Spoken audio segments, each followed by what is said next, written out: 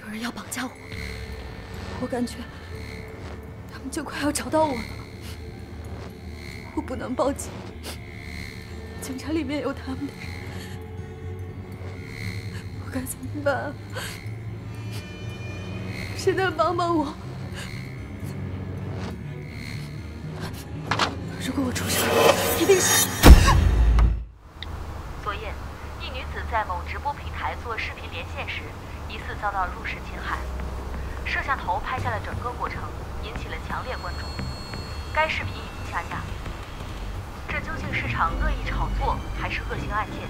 直播平台尚未做出回应。喂，是殷子月，我去石桥的螺丝粉店等你。好，我马上到。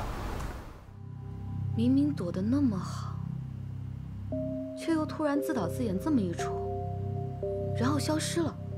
他到底想要干什么？不好说。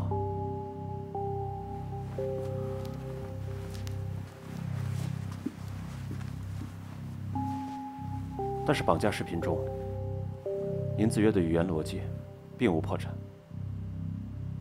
虽然他没有把话说完，但无论如何，公开视频一定是传递某种信息。现在可以肯定的是，车祸案的背后一定隐藏着更多秘密。